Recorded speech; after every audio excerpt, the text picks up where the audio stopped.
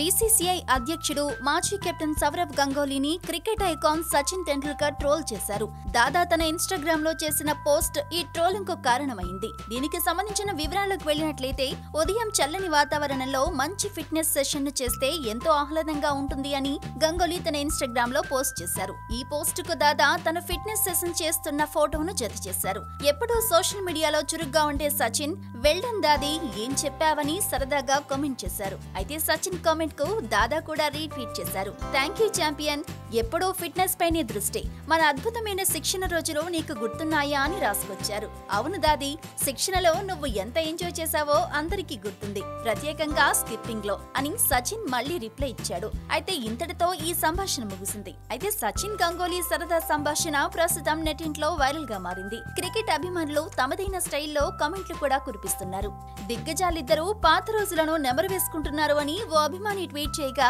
మాజీల సంభాషణ భలే సరదాగా ఉందే అంటూ మరో అభిమాని ట్వీట్ చేశారు. ఇక ఇదిలా ఉంటే ఐసీసీ ప్రతిపాదించిన నాలుగు రోజుల టెస్ట్ ఫార్మాట్ పై ఇప్పటికే పలువురు దిగ్గజాల నుంచి వ్యతిరేకత వ్యక్తమైన నేపథ్యంలో గంగూలీ ఏ నిర్ణయం తీసుకుంటారనే దానిపై సర్వత్రా ఆసక్తి నెలకొంది.